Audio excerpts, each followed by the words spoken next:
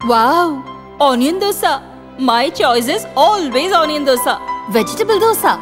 It's my choice. Podi dosa. My choice is podi dosa. Wow! Masala dosa. It's always my choice. Dosa வகைகளில் ஒவ்வொருவருக்கும் ஒவ்வொரு choice இருக்கலாம் ஆனால் எல்லா வகை தோசைகளுக்கும் ஒரே சாய்ஸ் இதயம் சுரா கைட் பத்தாம் வகுப்பு பொதுத் தேர்வுக்கான புதிய பதிப்பு அதிக மதிப்பெண் பெற சுரா கைட் அனைத்து புத்தக கடைகளிலும் கிடைக்கும் also available on Amazon Flipkart and Sura books dot com சமீபத்திய லோக்சபா தேர்தலில் கேரள மாநிலம் திருச்சூரில் போட்டியிட்ட பாரதிய ஜனதா வேட்பாளர் சுரேஷ் கோபி எழுபத்து நான்காயிரம் ஓட்டு வித்தியாசத்தில் வெற்றி பெற்றார்.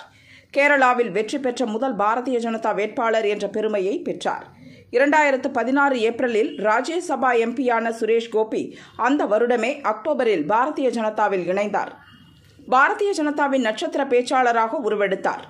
இரண்டாயிரத்து பத்தொன்பதில் லோக்சபா தேர்தலில் திருச்சூரில் போட்டியிட்ட சுரேஷ் கோபி தோல்வியடைந்தார். ஆனால் இரண்டாயிரத்து பதினான்கில் பதினொன்று புள்ளி பதினைந்து சதவீதமாக இருந்த பாரதிய ஜனதா கட்சியின் வாக்கு சதவீதம் இருபத்தி எட்டு புள்ளி இரண்டாக உயர்ந்தது. இரண்டாயிரத்து இருபத்தொன்றில் சட்டசபை போட்டியில் திருச்சூரில் போட்டியிட்ட சுரேஷ் கோபி மூன்றாவது இடத்தை பிடித்தாலும் மீண்டும் பாரதிய ஜனதா ஓட்டு சதவீதத்தை அதிகரித்தார். இரண்டாயிரத்து இருபத்தி நான்கு லோக்சபா தேர்தலிலும் திருச்சூரில் போட்டியிட்ட சுரேஷ் கோபி தீவிர பிரச்சாரத்தில் ஈடுபட்டார்.